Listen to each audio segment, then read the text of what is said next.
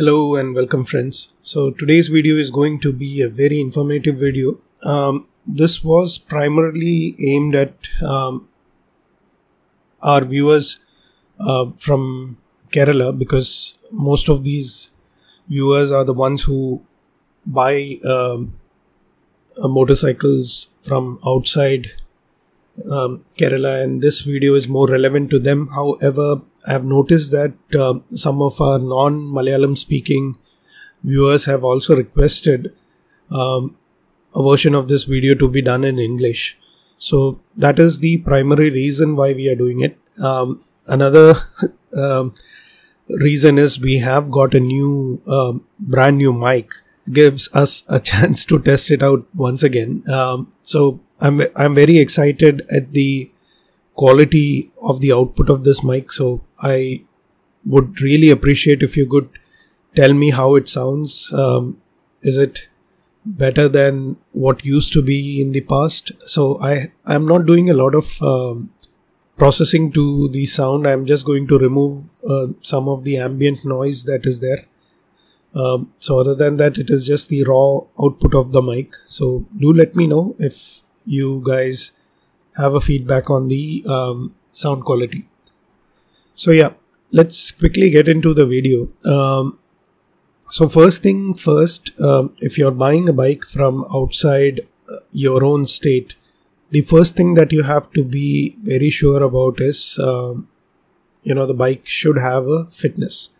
So it is always advisable to have a man on ground. So if you have a friend, um, usually don't try to force people into going and checking out the bike or helping you do the deal.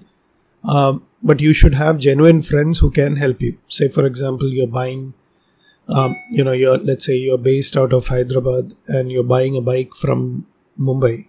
So you should have a friend in Mumbai who should be able to take care of this, or you should personally go and handle the situation. Um, so why I'm saying this is um, something that has been covered in um, our previous videos about you know how people scam on OLX etc. So when you are a buyer and when the seller is trying to make a deal, things are always very rosy and very sweet. So that is not going to be the case once you know you put the money on the table, and also shipping is going to be a problem. So you know no matter what kind of uh, seller he is, no matter how big his business is. Shipping is always going to be a pain because, you know, wrapping the bike properly, getting it sent, that usually takes a whole day of your schedule. So, this is something that most of the people do not uh, willingly do. So, uh, you know, I also have uh, a bike in Kashmir which is lying there for almost two years now, and it has not been sent because of this very own reason so let's you know come back to the topic so it's important that you have a friend on ground who can manage the seller. So um, the next thing is the like i mentioned the bike has to have a running fitness. And it is advisable that you get a bike with a fitness which is more than you know a year uh, which has more than one year validity. Um, so the the main reason for that is you actually technically get about if you are let's say issuing an NOC on that bike, you will technically get about one month of uh, you know no additional fine um, time period where you can um, apply or you know submit this NOC to the um, RTO in your region. Okay, um, but technically you can um, have this NOC submitted anytime in six months from the date of issue of the NOC. So, like the validity of the NOC is six months, but one month is the time period where you can get it transferred without a fine. But uh, post month one to month six, there is a fine. Another thing is uh, it's always important to um, get it transferred to the RTO uh, where you have an address proof. So, you know, let's say there are multiple RTOs. I, I cannot give you an example for any other region, but let me try give you an example of Bombay. So let's say you're living in Thane. So there is an RTO in Thane and then there is an RTO in maybe Worli. So um, based on uh, you know your address proof, uh, take it to the right RTO. So it is not taken as Mumbai RTO. It is taken as you know Thane or Worli, whatever the RTO you reside in. Okay, so that is the first part. Second part is um, the bike that you're buying should have an insurance, a running insurance. Um, so this is not a challenge because most of the guys who are trying to sell their bikes, um, about I would say 95% of those guys don't take an insurance. So usually the bike um, comes to you just with a road tax and a fitness. So make sure both the road tax and the fitness should have at least a year validity because sometimes what happens is um, you know you take f- uh, fitness after two years of not um, having any fitness so your fitness is valid from that date to the next five years, but the road tax always gets valid from the time the last road tax ended. So there might be a mismatch. So make sure that you um, look at that. So one year validity is there. Then the second thing is you are now um, looking at the insurance. So insurance um, is available online for every vehicle that has a fitness. So um, I prefer using Cover Fox than Policy Bazaar uh, because Fox gives you a quote without taking your phone numbers, and it is little easy to manage that because uh, if you put your phone number, then you start getting marketing calls. So um, that is one thing that I uh, prefer. So I take it from Cover Fox all always. You know, though they are not sponsoring or you know uh, promoting this video in any way. So this is just my personal view. Pollution can be taken from the state uh, that you're either buying the vehicle from or you can take it locally. That's not a problem. Okay. So now these things are taken care of. Um, the next very important thing, National Crimes Bureau report, which says that the vehicle is not involved in any crime. So this can be obtained online through the NCB uh, website. So you just need to know the vehicle number and also certain details like engine and chassis numbers. So you can just procure that certificate. So now these are the uh, you know the first three are the certificates that will make your bike road legal. The second one is one of the documents that you need for uh, submitting your bike into the new RTO. Now let's talk about the main documents that you need.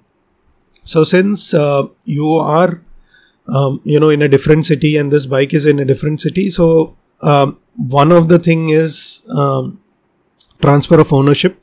So the transfer of ownership you need form 29 and form 30, um, both in duplicates. So either you can transfer the ownership in the um, city where the bike is presently that requires some you know help from the seller wherein what you do is you give your ID proof like Aadhaar or something and they create a rent agreement for you and then transfer the bike in your name and send it to uh, the uh, state where you originally belong from and you know you get it registered there. So the benefit of doing this is uh, it is little less hassle free otherwise what is going to happen is when you're going to go into the new uh, state they are going to ask you a lot of uh, documents which you can avoid if the bike is already in your name. Okay, so the NOC is applied on Form 28, which is all available on the Vahan database, or you can just Google it, you will get it. Um, I prefer using an agent both at the you know location where the bike is presently and the location where you're intending to transfer the bike um, because it actually helps you um, not waste much of your time. I'm not sure how things work in um, other part of the country, but from my experience in Kerala, the RTO agents know the process and procedures very well. They also know the order in which these documents are to be checked. So the you know motor vehicle department, which is already very busy, they don't end up spending a lot of time on the documents, and they know exactly where what is and if it is if something is missing the RTO agents will give you a solution as to what needs to be done so that is the reason why I prefer RTO agents. Um, then once uh, you know you get this bike to the new location usually what happens is there is uh, you submit all the documents. They ask you whether you need a fancy number to it or a regular number will do. If you need a fancy number you will have to wait for the next series auction that happens. So this auction is common across india. Um, so either you can do that or maybe let's say you know if you need a number in a particular series what some people do is they already book the number in a previous auction and then they get this bike transferred to that number. So that is also possible is what i'm trying to say. Um, see some people might ask why exactly do we need um, you know an noc because it is one country? So basically that's not the reason uh, the reason why we need an noc is because two rtos are not on the same platform and they do not communicate with each other. So earlier, you know, there were discrete small, small RTOs in various states and they themselves were not connected. So what has happened is now there is a Vahan database in which most of the vehicles and most of the RTOs are, um, you know, getting digitized. And because of that, the next stage is planned to be um, you know these um, road taxes as well. So that uh, the RTO is planning to make it portable which is like let's say you are residing in um, Chennai and you know you're buying a bike from Bangalore. So uh, um, Karnataka. So what happens is since these two RTOs are online the um, road tax you don't have to pay the road tax in a new uh, state where you're taking. So that is not yet come into effect but the uh, plan is that such uh, things will be um, you know done automatically. So wherever let's say you know another problem is these um, road taxes are different in different states. So if the difference is less than 2% uh, or 2% they will not ask you to pay but if it is more than 2% you will have to pay the difference that is the proposal which has come we will cover this in another video okay so now you have all those documents. So now you might have the form 28 where the NOC is issued on the form itself where the chassis traces, then form 29 and 30 where the ownership transfer happens. Um, you might not have these two forms if your ownership is already transferred in the new state. Like, I mean, let's say you're buying from Bangalore, taking it to Chennai. Um, if already in Karnataka it is transferred in your name, you don't need 29 and 30. And then the other documents that you need is pollution insurance. Um, the RC that you will get is not going to be uh, in the old format. They will give you a temporary RC. So use that RC to get it transferred into the new state. Also, you need a certificate from the National Crimes Bureau.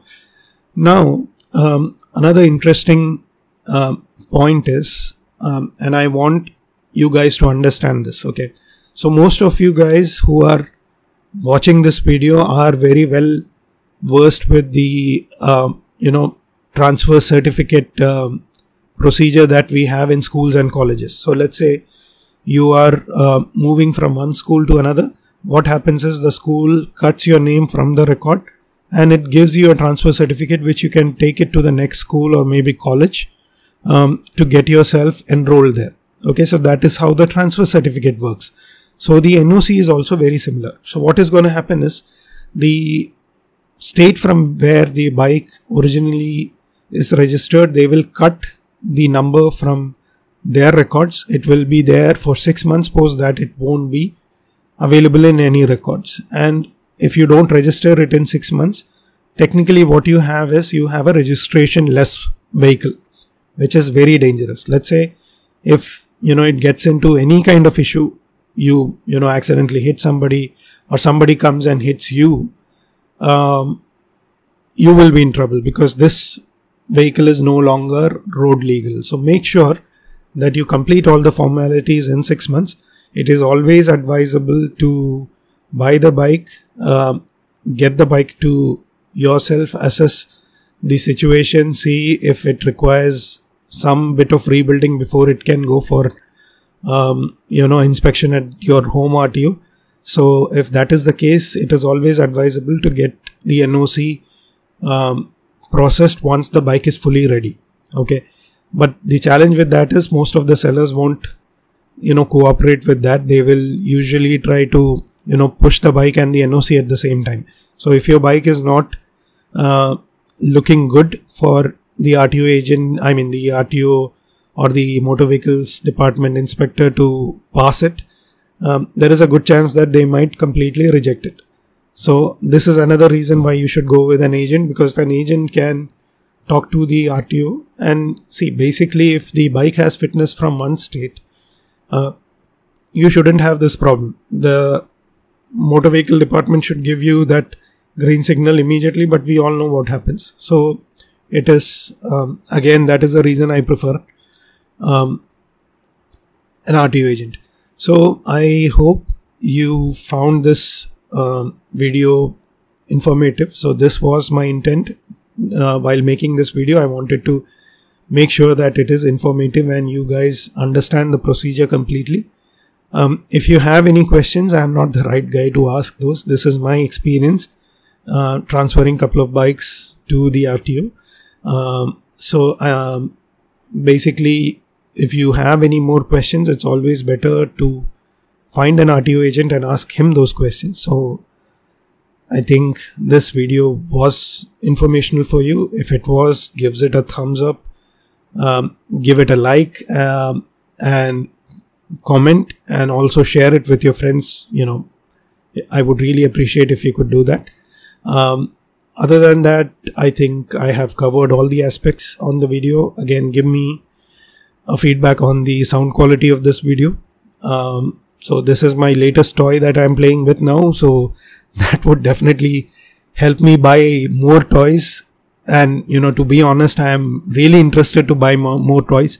So next uh, set of equipment is already planned. I'm planning to get you know something a better action camera which can be used both for normal recording as well as uh, you know riding videos so let's hope um, you had good fun watching this video. If you did, please give us a thumbs up and also share this video with your friends who might find it in informative. So this is not just about bikes. It's also about cars. Most of the people buy cars from other locations. So this will actually help you to do the transfer for those as well. Um, thanks a lot for watching this video. Have a great day ahead and we will see you in the next one. Bye bye.